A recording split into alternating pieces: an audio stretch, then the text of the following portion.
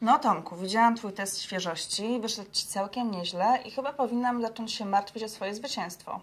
Ale zostało mi jeszcze parę dni i zamierzam je dobrze wykorzystać.